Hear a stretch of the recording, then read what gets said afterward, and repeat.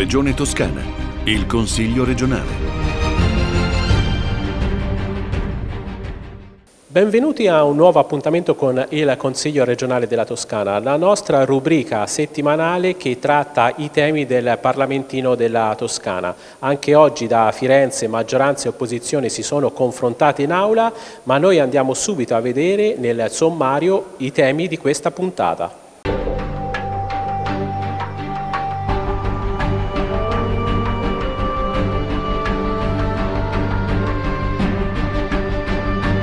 Nell'ultima seduta del Consiglio regionale si è parlato di RSA e in particolare l'occasione è stata l'approvazione di una nuova proposta di legge che eh, identifica e definisce le distanze tra le strutture. In Toscana eh, una struttura RSA può avere al massimo 80 posti letto e eh, secondo gli intenti della maggioranza questa norma che distanzia due RSA di un chilometro eh, diciamo, che permette e vieta, tra virgolette, che eh, imprenditori possano fare delle strutture in serie una accanto all'altra. Critiche le opposizioni che invece eh, fermamente si oppongono a questa norma in quanto, secondo il, i consiglieri, ferma lo sviluppo di questo settore e in particolare in Regione Toscana indicano esserci una forte richiesta da parte delle famiglie per i loro anziani e quindi c'è bisogno di nuove RSA e posti letto secondo le opposizioni, ma noi andiamo a sentire maggioranza e opposizione su questo tema nelle interviste dei consiglieri. Nasce da una razza precisa, e cioè quella di riacquisire una governance pubblica della programmazione degli interventi per la non autosufficienza. Eh, tant'è che il contenuto, quello fisso che rimarrà di questa norma, è l'applicazione del decreto legislativo 502 del 93 che eh, prevedeva la possibilità delle regioni di introdurre una verifica di compatibilità delle nuove strutture residenziali e semiresidenziali, cosa in Toscana non era mai stata fatta ma che ora con questa norma introduciamo e infatti un articolo della norma che abbiamo appena approvato dice che la Giunta dovrà approvare i criteri con i quali darà questo parere. Questo perché eh, vorremmo che ci fosse una distribuzione dei servizi che sia legata ai bisogni dei cittadini e non agli interessi soltanto di alcune imprese. Noi abbiamo bisogno intanto, per esempio, che ci sia una distribuzione omogenea sul territorio toscano e che i servizi siano differenziati. Non abbiamo bisogno solo di RSA, abbiamo servizi di eh, di, di, di, centri diurni, di servizi per chi ha più abilità e possa continuare comunque a avere una vita autonoma ma con una serie di aiuti e di servizi. Insomma, c'è necessario di un quadro generale sul quale l'assessore sta già lavorando. Eh, fermo restando questo che è il contenuto della norma, poi abbiamo introdotto una norma transitoria che dice finché non c'è la programmazione regionale non si può fare un RSA a meno di un chilometro da un'altra.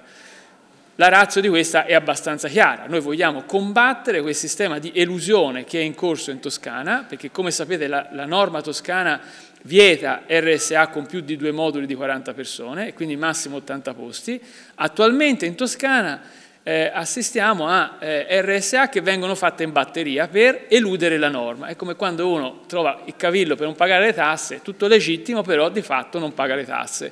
Questo è lo stesso sistema, si elude questa norma. E allora la norma transitoria del chilometro serve per combattere questo fenomeno. È evidentemente falso chi dice che questa norma transitoria voglia in qualche maniera combattere gli imprenditori, ostacolare gli imprenditori che vogliono legittimamente investire, i privati e vogliono investire in Toscana. Tutt'altro, questa norma non limita minimamente la possibilità di un investitore di fare un RSA di 80 posti in qualsiasi parte della Toscana. Dubito che chi vuole fare un nuovo investimento lo voglia fare a un chilometro, a meno di un chilometro, a 200-300 metri da un RSA che c'è già. Chi lo vuole fare perché vuole semplicemente eludere una norma che in Toscana però è vigente. Questa è la razza della norma. Quali sono i la PDL 174 che riguardava la distanza minima fra eh, le RSA e all'interno del dibattito ci siamo trovati poi dopo in aula con tanti emendamenti che riguardavano eh, ad esempio aree degradate che riguardavano le strutture all'interno, i servizi che riguardavano, per cui praticamente hanno allargato il percorso e, e secondo me l'identità di quella che era la PDL iniziale a tutt'altre funzioni e mansioni, per cui noi ci siamo astenuti mh, contro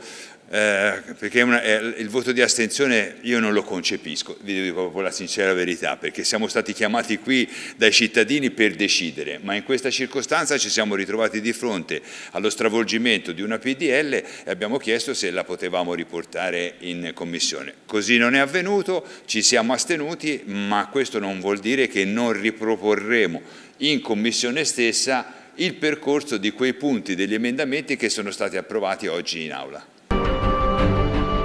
Il pianto di legge che ci convince, che abbiamo sostenuto e votato, bisognava migliorare l'adeguamento normativo delle strutture sanitarie in Toscana, questa norma consente agli interventi una maggiore qualità, ma soprattutto una maggiore umanità degli interventi, questa è la finalità, e anche la sostenibilità. Il sistema delle RSA toscane ha bisogno di un livello di sostenibilità, di un adeguato finanziamento, ma anche normativa che mettano nelle condizioni chi fa investimenti di poter adeguare le strutture di, e fare interventi che ovviamente vedano sempre e comunque la persona al centro di queste iniziative. Una scelta che viene da lontano, dove la qualità si fa anche con l'umanità e quindi l'umanità è anche dentro strutture che devono puntare più sui servizi che sul numero, che sulla quantità. Bisogna però nel contempo trovare sempre un equilibrio rispetto al livello di sostenibilità delle strutture, ma la sfida che deve essere fatta a mio avviso resta sempre e comunque sull'innovazione dei servizi per le persone che hanno maggiormente bisogno.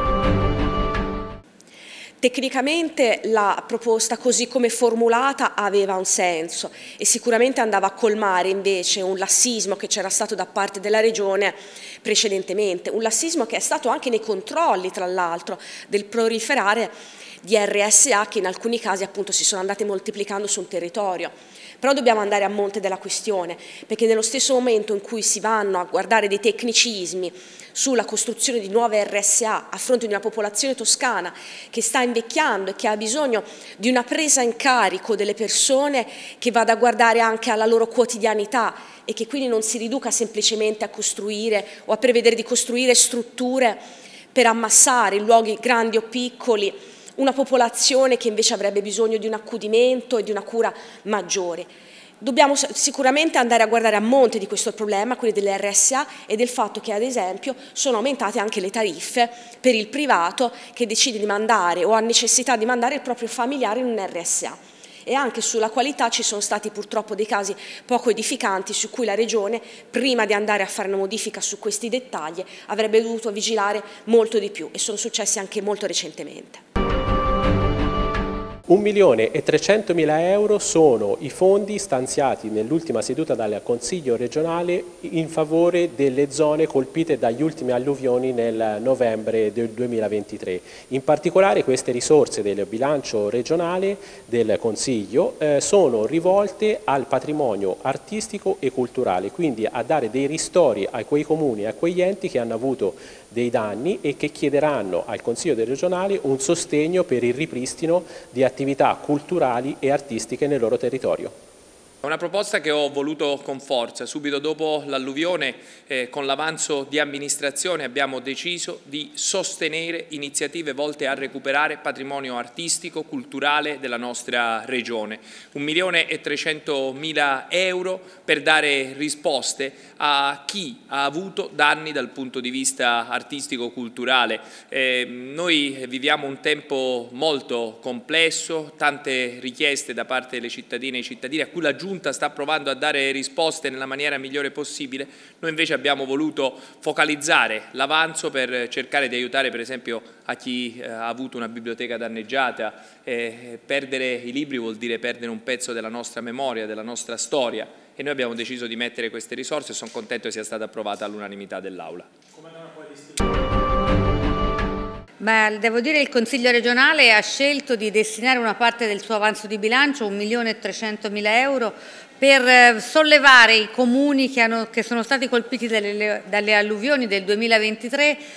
eh, per quanto riguarda il patrimonio culturale, ecco, noi abbiamo visto, approvato provvedimenti e visto provvedimenti destinati agli aiuti più in generale, abbiamo scelto di concentrarci sul patrimonio culturale perché la cultura non è un lusso, non è un accessorio che ci si può concedere o non concedere a seconda dei momenti, ma per le istituzioni è il dovere di provvedere ai cittadini con fattori di ispirazione, con l'aria che si respira poi, perché questa è la cultura. E ne, non ci dimentichiamo che nei comuni soprattutto più piccoli, i luoghi della cultura, le biblioteche, i teatri, sono spesso anche luoghi dell'identità della comunità e quindi è un modo per prendersi cura di un bene prezioso per le nostre comunità così duramente colpite durante le alluvioni dello scorso autunno.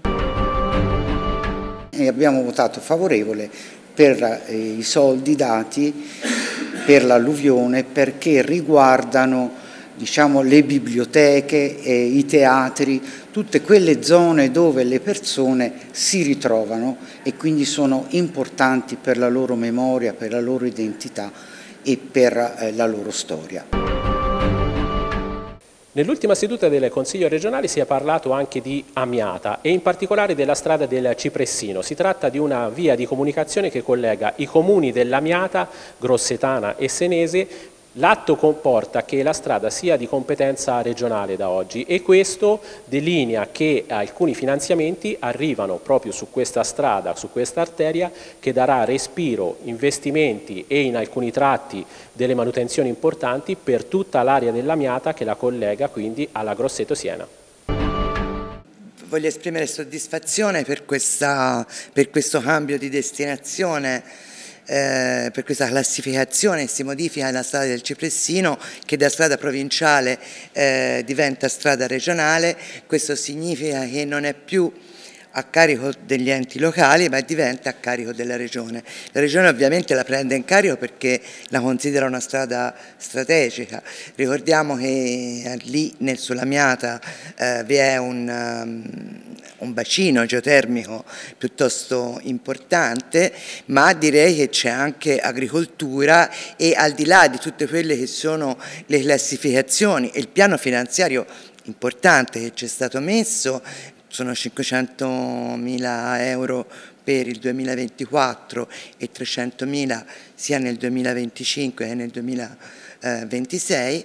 eh, credo che sia importante anche perché la Miata sappiamo che è una zona, eh, un'area interna eh, rientra infatti anche nelle zone delle strategie delle aree interne, eh, importante per quella popolazione perché diventa un'infrastruttura che collega, sono 30 chilometri, ma veramente strategici, che sono attesi dalla popolazione amiatina ormai direi da numerosi anni. Eh, strategica perché li collega alla strada statale, la 223, che è la strada appunto Grosseto-Siena.